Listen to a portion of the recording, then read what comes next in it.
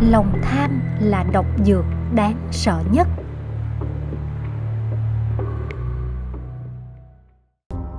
Trên đời này, lòng tham chính là thứ độc dược đáng sợ nhất. Nó có thể hủy hoại một cá nhân chỉ trong nháy mắt.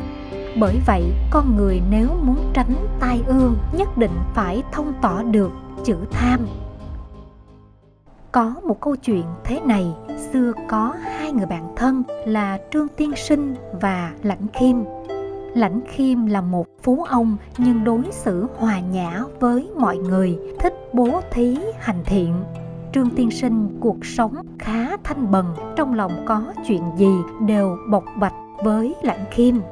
Một hôm, lãnh khiêm đến thăm, nhìn thấy trương tiên sinh mặt mày ủ dột, bèn ôn tồn hỏi huynh có tâm sự gì vậy? Có thể nói với tôi được không?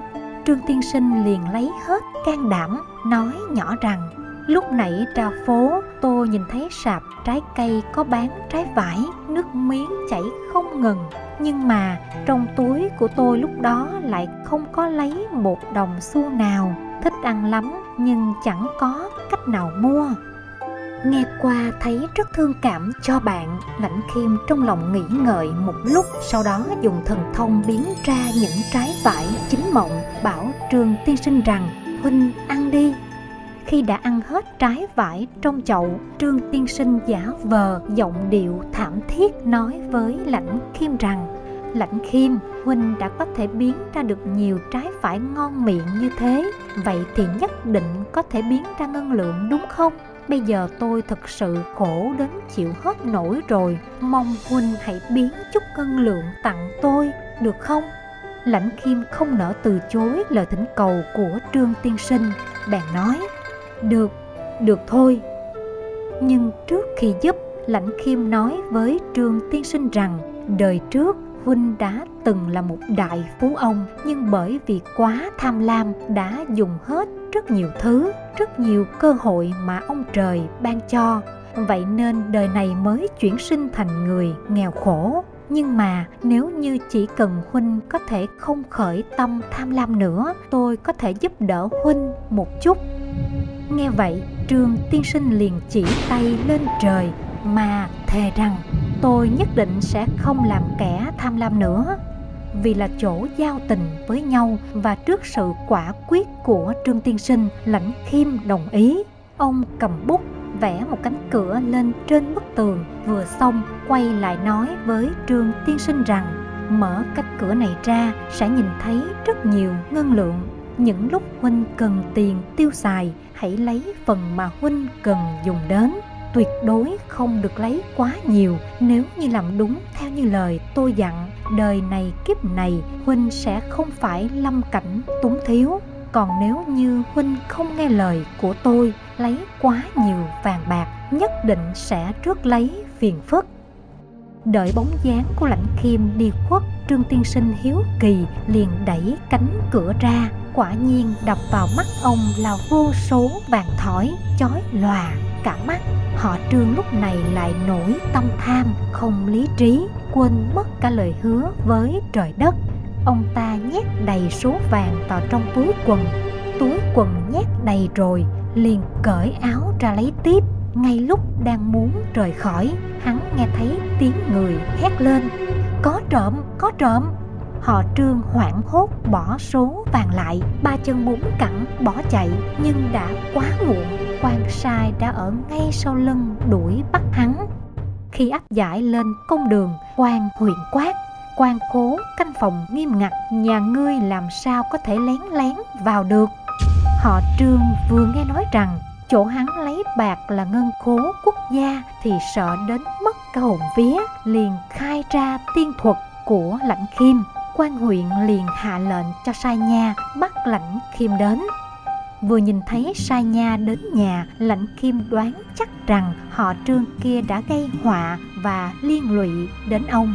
Không còn cách nào khác đành theo sai nha về nhau môn một chuyến. Đến nơi, lãnh Kim nói với sai nha rằng, có thể cho ta xin một ly nước không? Sa nha bưng đến một ấm nước, sau đó rót cho lãnh Kim một ly trà lãnh khiêm đưa tay đón lấy, cảm ơn, nha dịch. Uống lấy một ngụm, rồi bụp một tiếng, đã không thấy lãnh khiêm đâu nữa.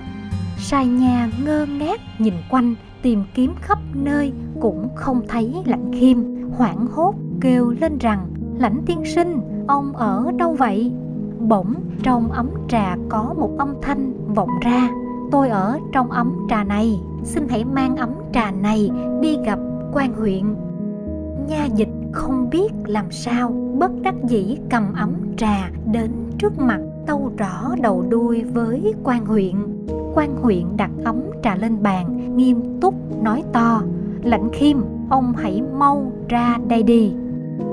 Lãnh khiêm trả lời rằng, tôi đã phạm tội, không còn mặt mũi nào để gặp quan huyện cả.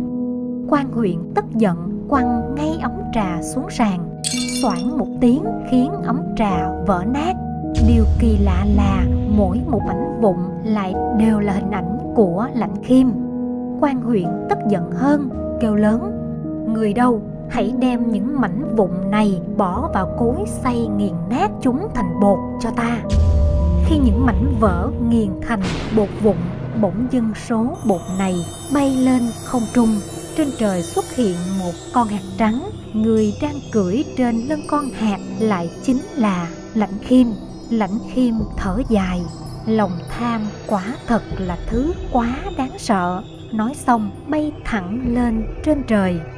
Riêng về họ trương bị đưa ra xét xử, tự thân phải chịu trách nhiệm bởi tâm tham mà mang tội ăn trộm quốc hố. Cổ nhân có câu tiền là vật ngoại thân. Biết là vậy nhưng mấy ai thấu hiểu được ý nghĩa thực sự bên trong. Bởi lẽ chúng ta đến thế gian với hai bàn tay trắng. Khi ra đi cũng lại hai bàn tay trắng. Một người dù có tích góp bao nhiêu vàng bạc châu báu đi nữa, nhưng đến lúc lâm chung lìa đời thì số tài sản ấy có ý nghĩa gì đâu sống thiện lương thì trời cao luôn cho ta những an bài tốt nhất. Không tham cũng là biểu hiện của tấm lòng thiện lương. Những gì của mình thì nhất định sẽ không mất. Hà tất phải tranh giành cho mệt thân tốn sức, lại còn bị hao tổn phúc đức. Giống như lão tử từng nói, đạo trời không thiên vị thường giúp người thiện lương.